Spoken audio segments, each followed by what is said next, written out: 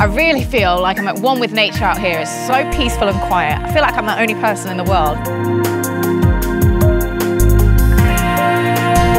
This is the best feeling I've ever felt. Be there with Travelxp, now on Freeview Channel 98.